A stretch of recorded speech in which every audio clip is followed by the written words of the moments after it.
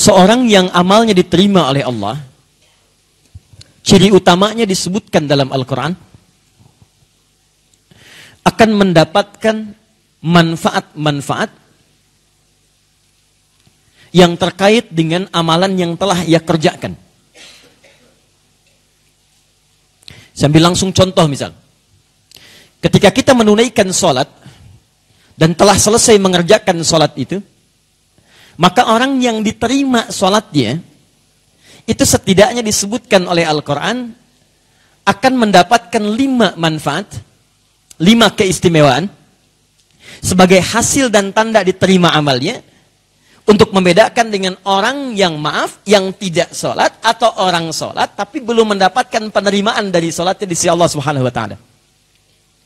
Apa di antara lima itu dan apa kaitannya dengan tema yang kita bahas di kesempatan siang hari ini? Menjadi pegawai yang amanah serta profesional di bidangnya. Ya. Satu, mari kita cepat. Quran surah ke-29 ayat ke-45.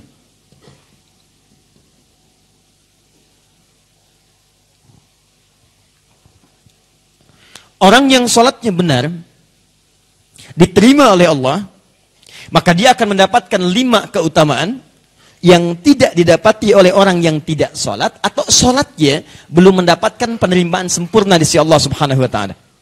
Yang pertama cirinya kata Allah, Inna salata tanha anil fahsya iwal munkar. Sungguh Salat yang ditunaikan dengan benar itu, perhatikan kalimat mushafnya di Al-Qur'annya. Itu kalimat salatnya menggunakan alif lam. Silakan teman-teman cek semua kalimat salat dalam Al-Qur'an yang bermakna ibadah dimulai dengan takbir, ditutup dengan salam, itu semua kalimatnya menggunakan alif lam. Al-Baqarah ayat 3, kalimat salat pertama. Alladzina yu'minuna bil ghaib wa yuqimunas salat. Ayat 43, wa aqimus salat wa atuz zakah. Ayat 45, wasta'inu bisabri wassala. Selalu menggunakan alif lam. Saya berikan rumus cepat. Kalau ada kalimat dalam Al-Quran menggunakan alif lam, itu artinya, awas, maksud dari kalimat ini bermaksud khusus, punya ketentuan tertentu, aturan yang khusus, dan beda dengan pokok-pokok amalan yang lainnya. Jadi kalau tidak menggunakan alif lam, singkatnya bebas, nggak ada aturannya. Misal, Inna sholata tanha. Alif lamnya tidak ada. Itu artinya Anda mau kerjakan sholat bebas. Mau khusyuk silahkan. Mau tidak silahkan. Mau cepat-cepat silahkan. Mau bacaan lambat bebas. Tapi kalau kalimatnya menggunakan alif lam inna sholat berarti bukan sekedar sholat tapi ada aturan yang harus diikuti. Bagaimana cara takbirnya, bagaimana cara rukuknya, cara sujudnya sampai dengan salam.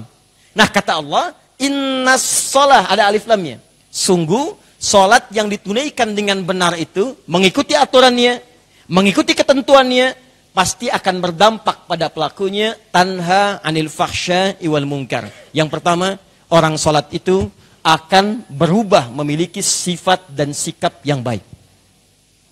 Secara singkat, berperilaku baik.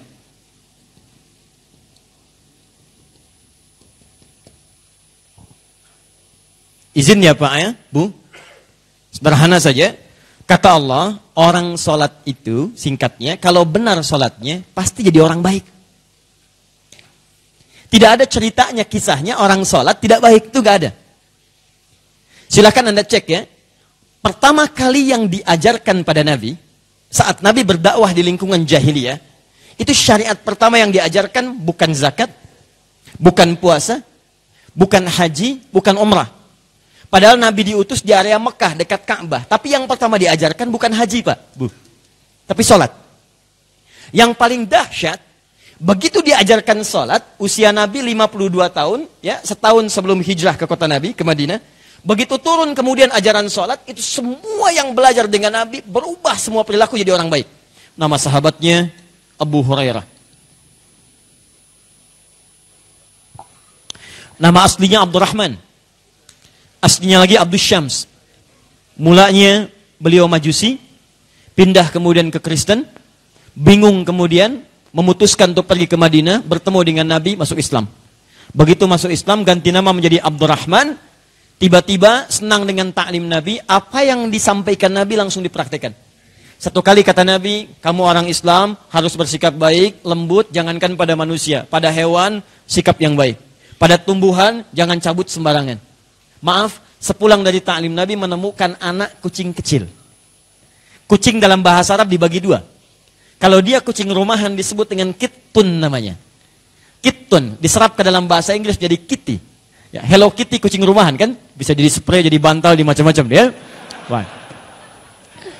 Kalau dia kucing liar, maka ganti ya, berubah dari kata kitun menjadi hurratun. Ha, ra dengan tak, hurrah, kucing liar. Anaknya disebut dengan Hurairah. Satu kali pulang dari taklim Nabi di jalan menemukan seekor anak kucing kecil kehilangan induk. Dia mengeong-ngeong, dibawa oleh beliau. Dirawat di rumahnya. Ya, lapar disuapi, dingin diselimuti, ke mana pun pergi dibawa ke jubahnya dimasukkan. Sampai tiba-tiba di pertengahan jalan saat akan ikut taklim Nabi, berjumpa dengan Rasulullah di jalan. Kata Rasulullah, begitu mengeong-ngeong, keluar anak kucing kecilnya. Kata Rasulullah, Anta Abu Hurairah. Kamu bapaknya anak kucing kecil. Jadi kalau ada orang perhatian pada anak kucing seperti ayah pada anaknya, hanya kamu, tidak ada yang lain. Coba cek, ada pejabat di sini rapat bawa anak kucing? Ada ya? Nah, maka sampai dengan masa kini dikenal dengan Abu Hurairah. Abu Hurairah ini begitu belajar dengan Nabi, sholat dengan sempurna, maka terbentuklah pada jiwanya dasar-dasar kebaikan.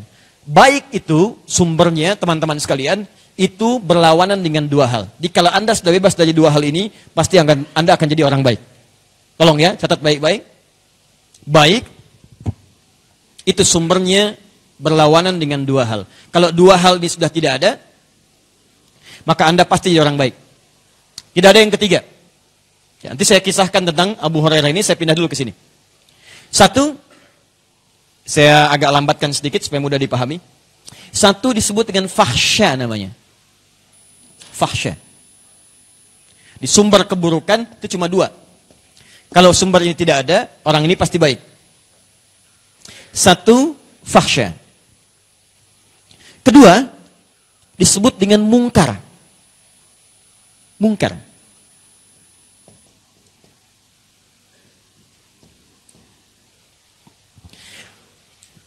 Maaf, sekali lagi maaf. Jadi kalau ada orang yang punya sifat dan sikap tidak baik, apa pun profesinya. Birokrat yang tidak baik, diplomat yang kurang baik, dosen yang kurang baik, bahkan ustadz yang kurang baik, itu pasti memiliki satu di antara dua hal ini. Dua-duanya hilang, maka langsung akan berubah jadi baik. Karena semua yang diciptakan oleh Allah, kata Allah, itu semua berlawanan. Awas, hati-hati, semua berlawanan. Quran surah 51 ayat 49. Kata Allah, "Wa min kulli syai'in khalaqna zawjaini la'allakum tadhakkarun." Semua yang saya ciptakan kata Allah itu punya pasangannya. Cuman saya yang tidak punya pasangan. Hanya saya yang tidak punya pasangan. Sama, baik punya pasangan buruk. Baik pasangannya buruk. Jadi kalau ada seseorang misalnya hilang buruknya, otomatis baiknya naik. Kalau ada seseorang baiknya itu yang turun, buruknya yang muncul. Nah kalau ada sifat dan sikap yang kurang baik muncul dari seseorang, itu kalau bukan fahsya, pasti mungkar. Apa itu fahsya dan mungkar? Saya agak cepat. Maaf. Saya mulai dari sini. Mungkar, dari sini dulu. Adalah semua jenis keburukan yang langsung diingkari oleh hati kita. Jadi begitu dikerjakan, hati kita menolaknya. Biasanya sumbernya nafsu perut dan akal. Untuk membedakan dengan fahsya.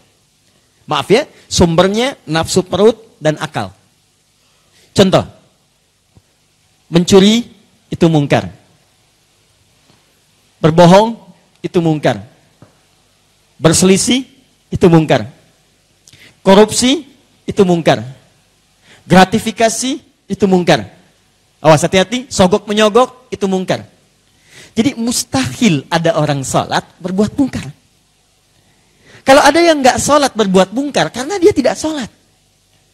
Tapi kalau anda mengerjakan sholat dan masih berbuat mungkar, pasti ada yang salah dalam sholatnya. Orang sholat masih mencuri misalnya, pasti ada yang salah dengan sholatnya. Ini saya kadang-kadang bingung nih kalau pulang, baru pulang ke Indonesia, saya sudah bingung luar biasa. Orang sholat ke masjid, Begitu mau ke masjid masih takut kehilangan sandalnya. Bahkan ada yang pulang dari masjid pun masih kebingungan cari sandalnya. Sendal saya mana ya? Sendal saya mana ya? Padahal baru dari masjid. Oh ini sendal saya dipakai aja. Padahal dia ke masjid nggak pakai sandal. Anda bayangkan. Ya. Itu baru skala kecil.